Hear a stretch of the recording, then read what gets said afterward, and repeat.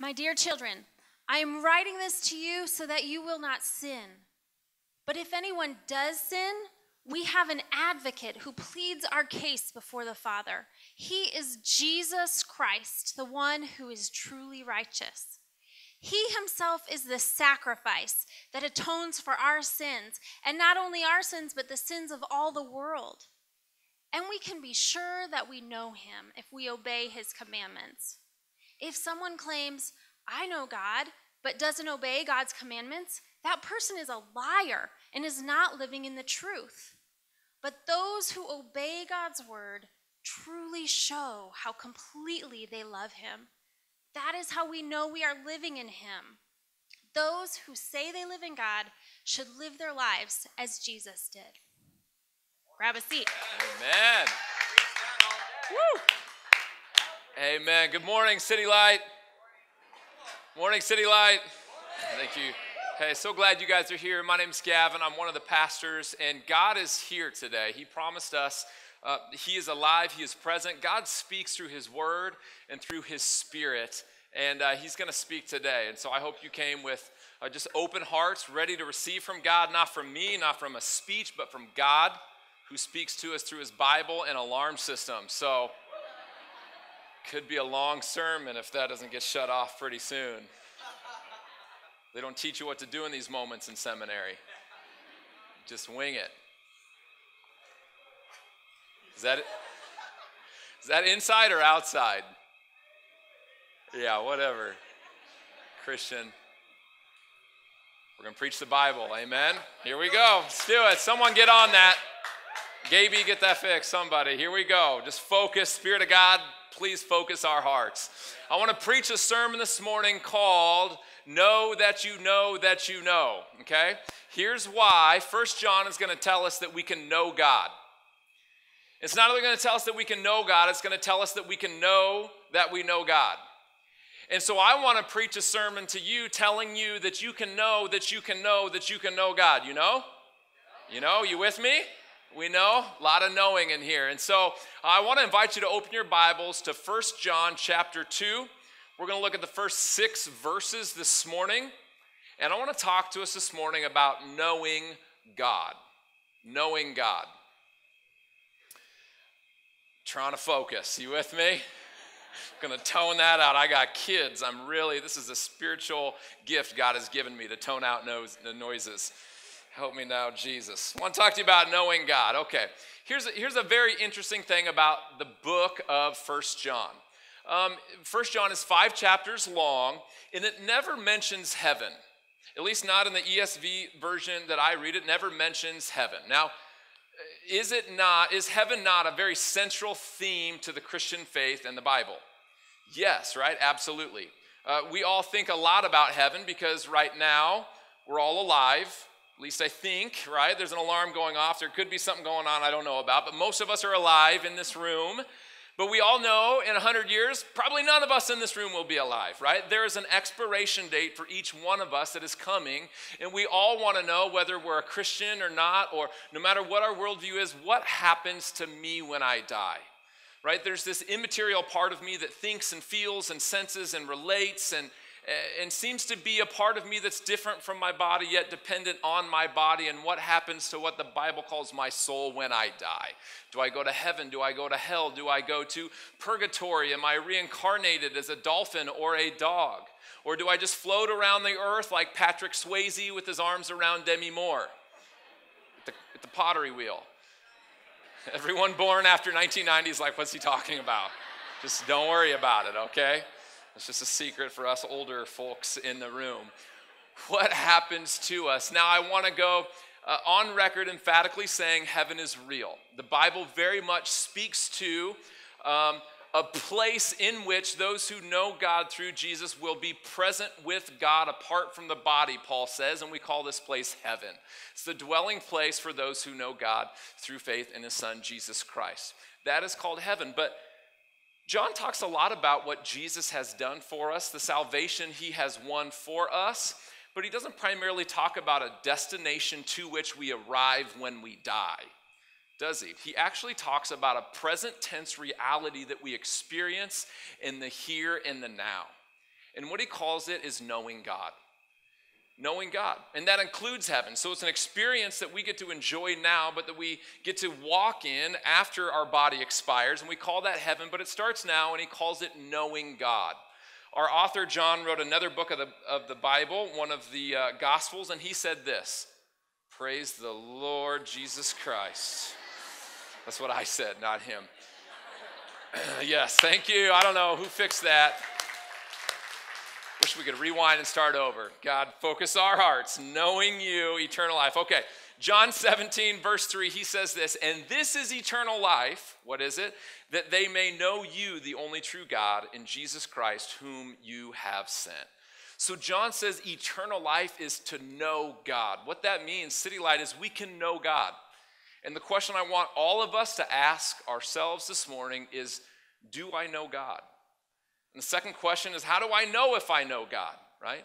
Do I know God and how do I know if I know God? I ask those questions because those are the questions that our six verses want to answer for us this morning. And so I just want to be aware of this. So let me say there might be some people in the room who are Christians who are thinking, oh, this is like the assurance of salvation sermon. So I'm glad he's preaching it you know, maybe there's a non Christian who's going to get saved today. I'm going to pray for them and kind of cross my arms, but this isn't for me. I want you to know this has vast practical implications for both the Christian and the non Christian this morning. Assurance of salvation, knowing that we can know that we know God, is one of the greatest gifts that God has given to the believer.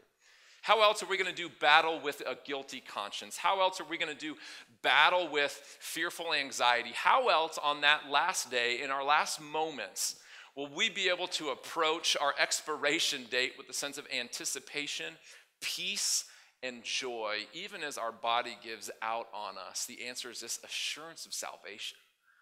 What a gift from God that we can know that we could know. As Christians, we should want to hear it and test it and be sure of it over and over and over and over again. That's why the old saints used to sing about blessed assurance. Who knows the tune? Anybody? Sing it with me. Blessed assurance, Jesus is mine. Oh, what a foretaste of glory divine. Heir of salvation, purchase of God, born of his spirit, washed in the blood. Gabe, I think your job is secure. I just don't think you have anything to worry about, okay? Right? Why do we sing that blessed assurance? Jesus is mine. I can know what a foretaste of glory divine. There is nothing more sweet to the Christian's ear than to know that we know God. Amen? And for the non Christian in the room, or the person who might think, I don't know if I know, and I don't know if I know that I can know, and how do I know? I would say this I pray that God would make you uneasy this morning. Not because I don't love you, but because I do love you. Uh, and this is a matter so important that we should not get a good night's rest until we have this settled do I know God? I listen to my man, Charles Spurgeon, old British preacher. He said it this way it'll be up on the screen. He said, If any man is not sure that he is in Christ, he ought not to be easy one moment until he is sure. Dear friend, without the fullest confidence as to your saved condition, you have no right to be at ease, and I pray you may never be so. This is a matter too important to be left decided undecided. Amen? Amen. Does it get any more basic than this? Do we know God, and how do we know if we know God? And um, I just think the more I live life, the more I realize there's not a lot in life that's for certain. Have you noticed this? The older I get, the more I think the things that I used to thought were so stable and so secure that I could be so sure of suddenly feel a little bit more temporal. And you guys know this, right? Um, I ordered a new iPhone. I have no confidence it's going to show up on the estimated delivery date, right? I'm just not sure of that. It's probably going to come late. The Huskers are, what, 4 and 0, 3 and 0, 4 and 0? I'd like to think we're going to do well. I'm not so sure. I don't have a lot of confidence, right? Maybe some of you guys, it runs a little bit deeper. You had that job that you were so sure was stable, and now you're unemployed, so unprepared for that. That person that said vows before God, saying they would never leave you, they're gone, right? Dear family members that have abandoned you, you think, what can I be sure of anymore? What a treat to know God says you can be sure of one thing. You can be assured that you know God and that you will be with Him for eternity. I think this could be a good sermon. I don't know. Anyone feeling this? I think God's got a good word for us in spite of the siren. So here's what I want to do I want to start in verse 3. And uh, verse 3 is kind of the hinge verse uh, of everything that God's trying to tell us in these six verses. And so I want to start there, and I want to set up kind of the outline that I'm going to use for the rest of the morning. And uh, that's where I got the title of the verse. And so uh, here's what we're going to do. Verse 3, let me start with the first half.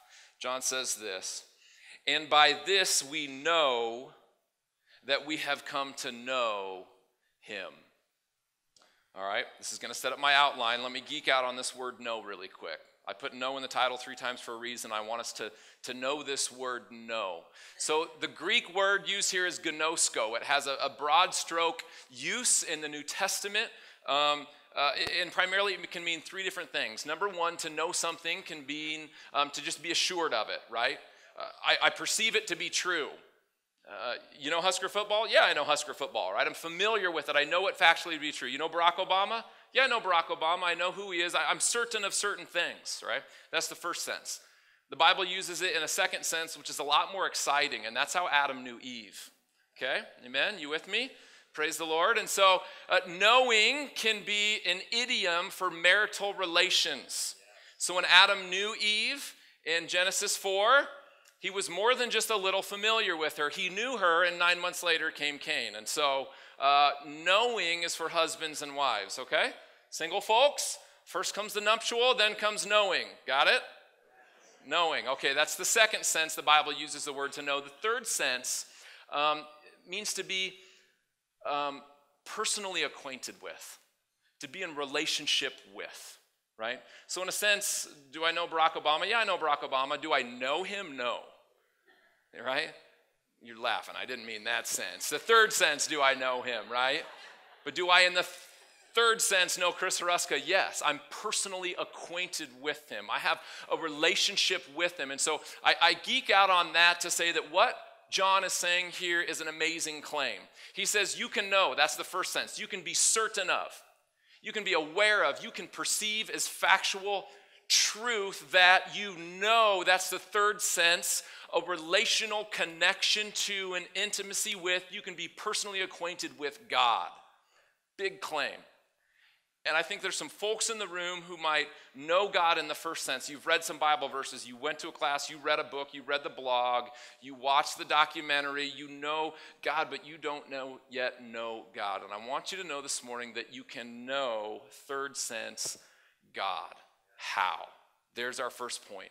God's going to tell us in the first two verses, He's going to summarize how it is that we sinful people can know, personally acquainted with the God of the universe. So here we go. Point one How do we know God? Let's start in verse one.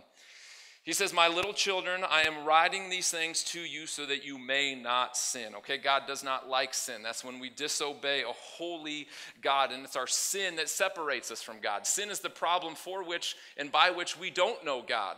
Adam and Eve knew God intimately in the garden, but it was their sin that broke their fellowship with God. And it's sin that's in each one of us that prevents us from knowing God in an intimate way. So sin is bad, it breaks fellowship with God. It says, but if anyone does sin, okay, that's good news because he might be talking to us. Raise your hand if you sin, if you've ever sinned.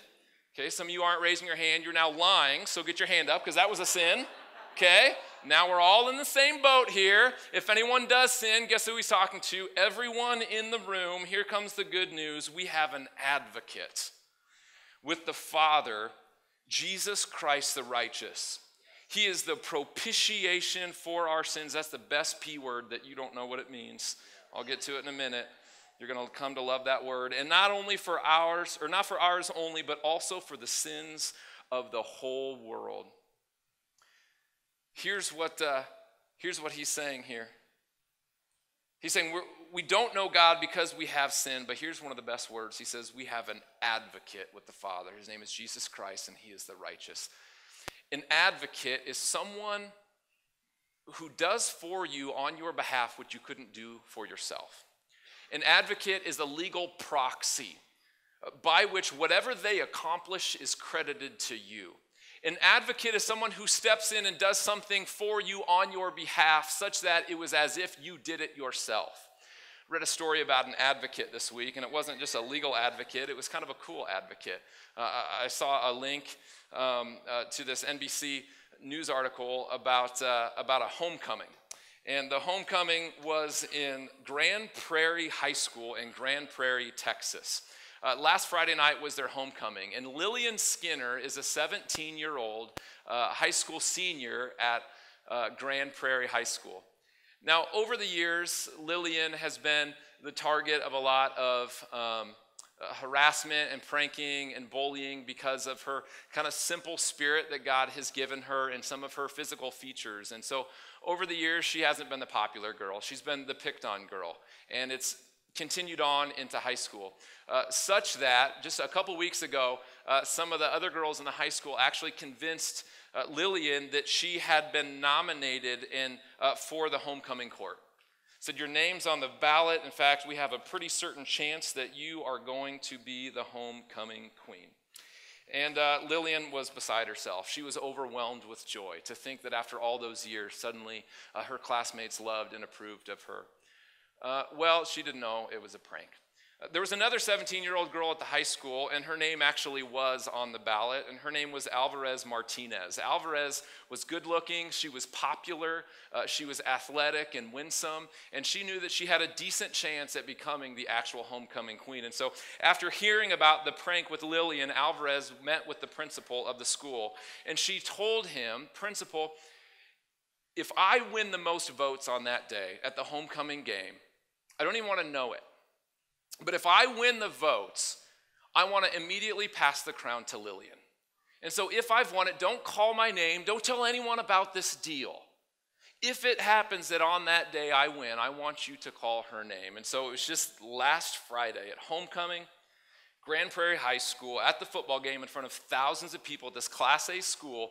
The entire school and community is looking on. The principal stands up at halftime of the football game and announces to the awaiting crowd Ladies and gentlemen, the 2014 homecoming queen is Lillian Skinner. How about that?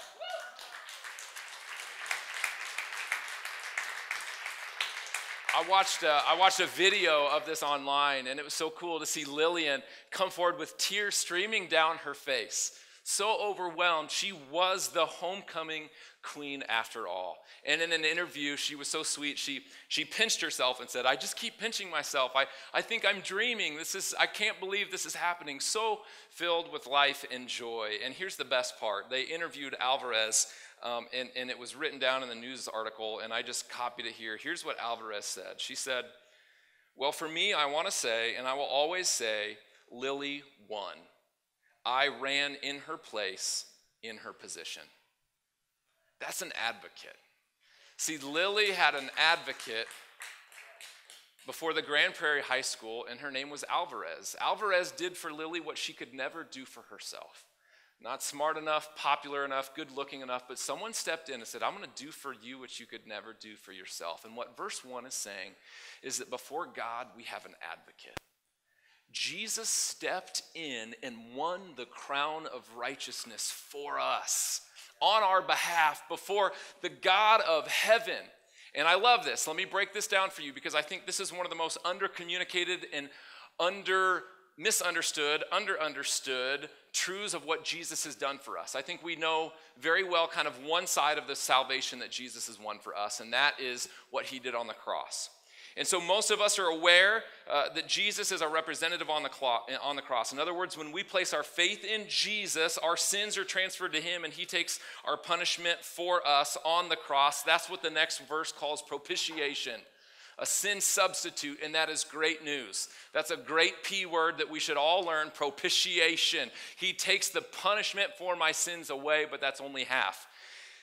Our verse is telling us that he was not only our representative on the cross, but right now, Jesus is your advocate. He is your representative before God the Father right now. So that right now, when God the Father looks to those whom have placed their faith in Jesus, he not only sees you, he sees the very righteousness, the very crown of his son that he had earned for you.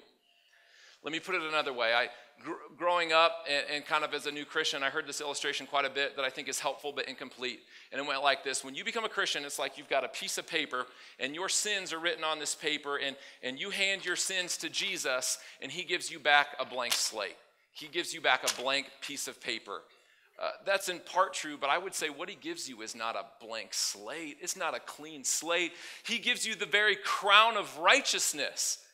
He gives you back a slate that's full and rich with the very identity of God, so that whatever Jesus is to the Father, so now too you are to the Father. Do you catch that?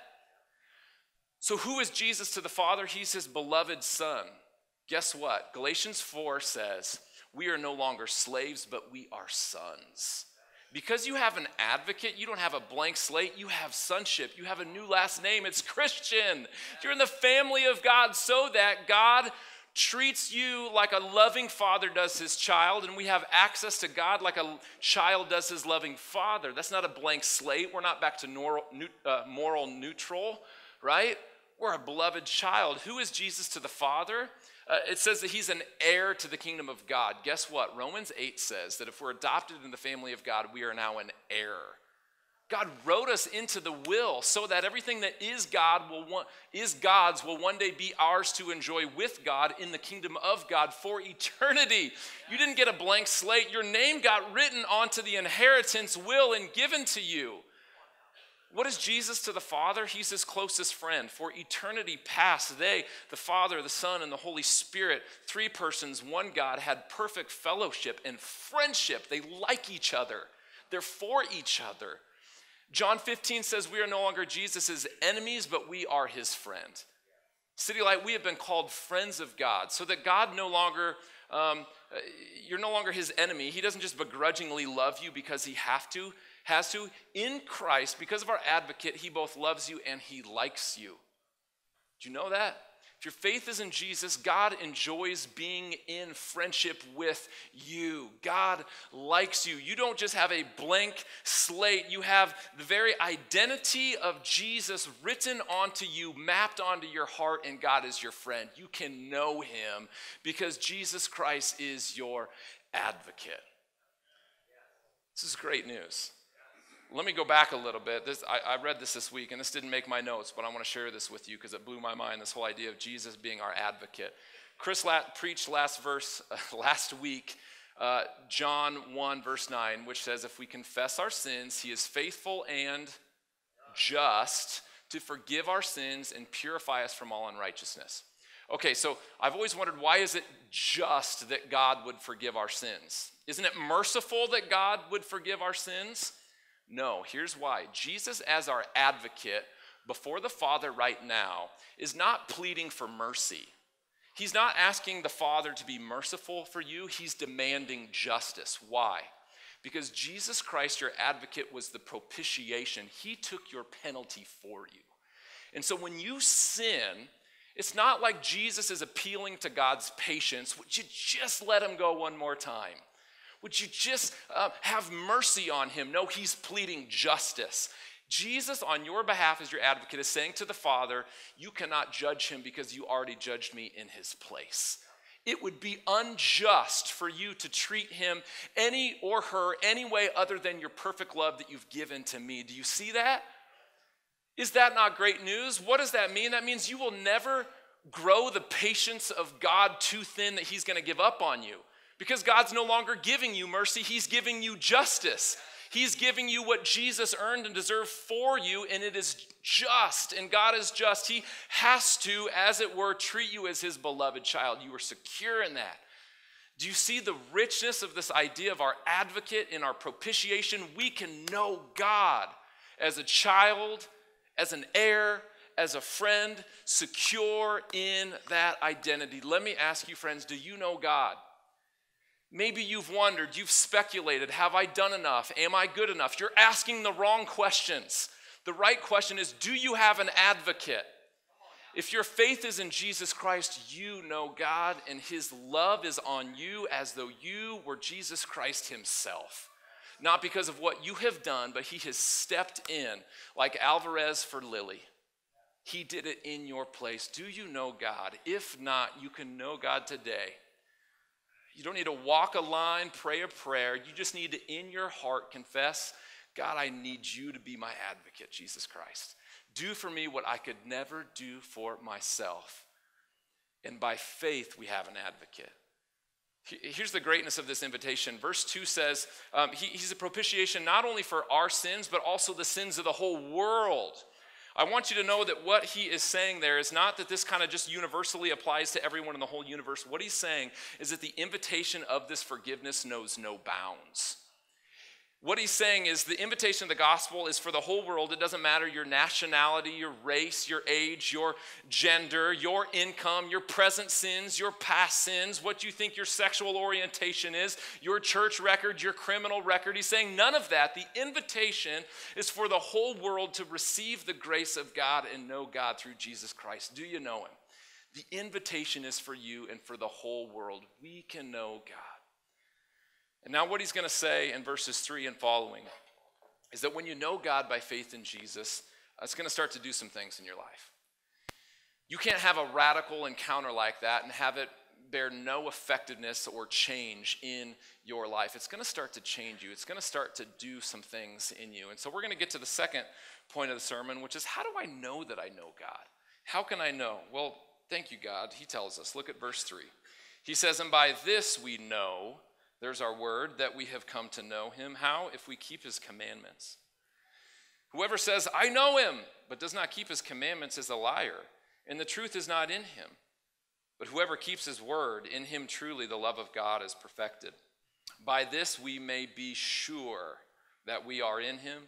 Whoever says he abides in him ought to walk in the same way in which he walked.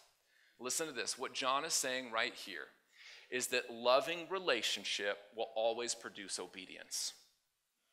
When you know God, it will change your life in practical and tangible ways. Let me be very careful. Listen to what he's not saying. He's not saying obedience to God produces loving relationship with God. Okay, you see the difference? That's legalism. That's in every way antithetical to the gospel. He's not saying obedience to God produces loving relationship with God. It's the other way. He says loving relationship with God will uh, produce in you obedience to God. And so obedience doesn't earn God's love, but it does start to give evidence that we have experienced the love of God. So listen, we don't obey God out of fear that we might lose the love of God. We obey God because we know that in Christ as our advocate, we never could lose the love of God anyway. I love and serve my wife, not because I'm fearful that she might leave me, but because she has vowed to never leave me. And that motivates me to want to love and serve her. And likewise, when you know God, you'll look at Jesus Christ and you'll say, Look at the love that God has put on me at such an incredible price. How could I dare sin against a love like that? You see that? Now, let me be clear. What, what John is not saying is that you will have faultless obedience. Okay? You need to go back about four verses because just before this, he said, if anyone says they have no sin, they're a liar. You're deceiving yourself. Okay? So he's not demanding perfect obedience. If you know God, you will never sin. But what he is saying is there will be a new trajectory to your life. There will be some evidence, right? As you love God, you will actually start to hate sin. And though in seasons you will still fall into sin, you will no longer celebrate your sin, you will be grieved by your sin. And like Chris preached, you will confess your sin and run to Jesus and no longer celebrate your sin and run to it. And you enter the battle of your life, that tension in your soul, what Paul says in Romans 7 the things I don't want to do, I do, and the things I want to do, I don't do. And you feel that tension in your life. And as you love God, you tend towards obedience. And so, very simply, what what John is saying, if you want to know that you know him, look at your life. Are some things starting to change? Your behavior, your obedience will kind of show you whether or not something has actually happened in here. So here's an illustration. Think about the speedometer in your car. How do I know how fast I'm moving forward? Well, I see the needle in my speedometer going up. Now, is that needle the thing that pushes my car forward down the road? No. The engine does that, right? The pedal does that. And so I don't just manually try to push up the speedometer. My car won't go anywhere. That's what he's saying. Look to the evidences of your life. And if, if the engine, the love of God, has taken root, you're going to start to see the needle of obedience going up.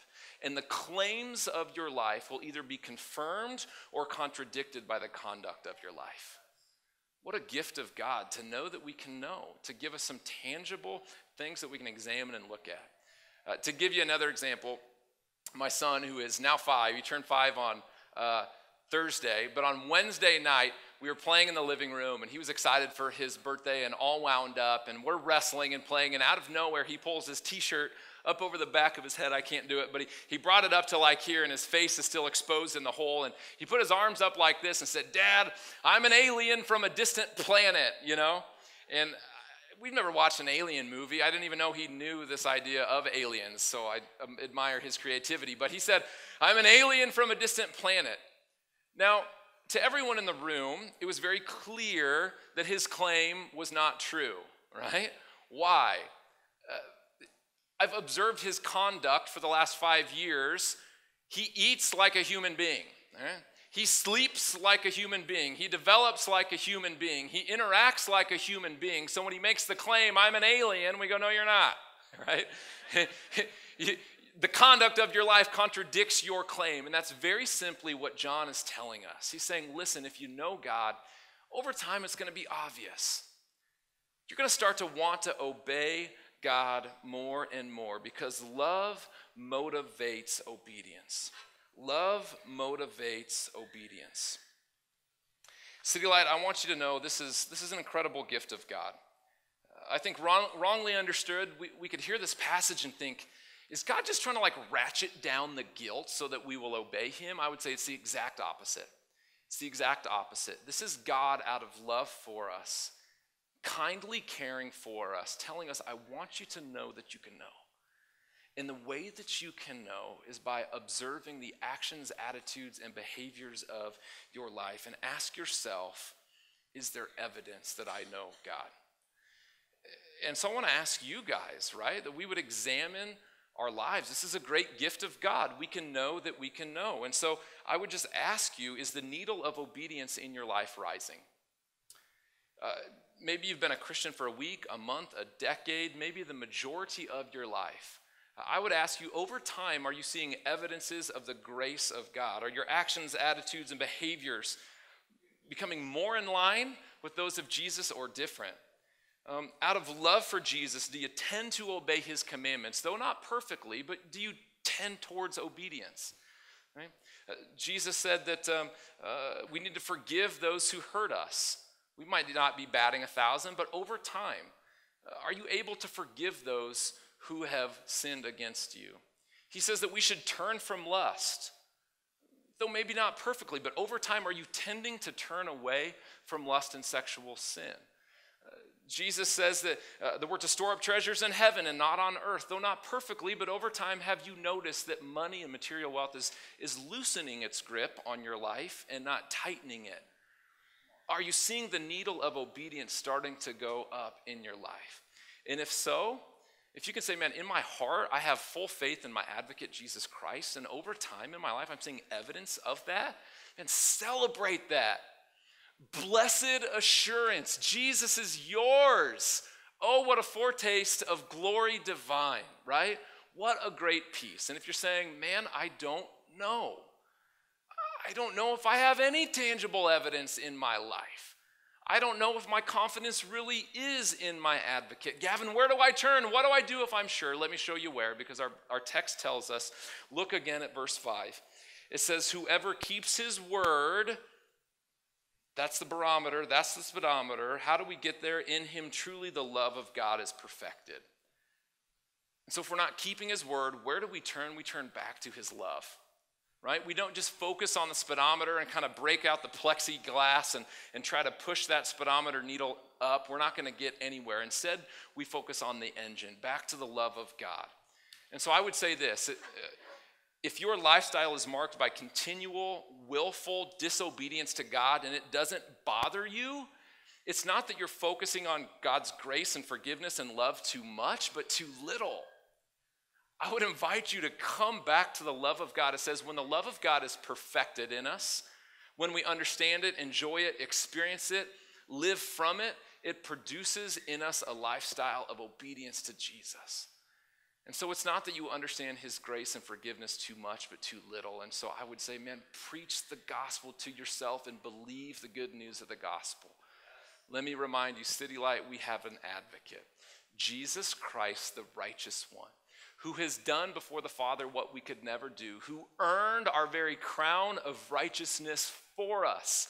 And he's given it to us as a great gift, that which we could never do. And the invitation this morning if you don't know that you know God, the invitation is not to clean up your life, is not to get yourself right, but it's to receive by grace the crown that Jesus has earned, that you would trust Him as your advocate and your propitiation, that you would place your faith in Him and know God. And for the Christians in the room who have trusted Christ, man, I want this to define you and us and our church culture, this great assurance that we can have. That Jesus Christ is our advocate, and in him we know God. And He's not calling us to do more or try harder, but to open the eyes of our heart to see what Jesus has done and tried for us, and to find our full assurance that we are in Him and He is in us, and He is perfecting that through obedience and life change. Amen? This morning, uh, we're going to respond to this message by taking communion. And, and communion is really a gift of God, it's a reminder of our advocate and our propitiation. It's a reminder as we take the bread that it was Jesus' body that was hung on a cross for the forgiveness of our sins and broken for us.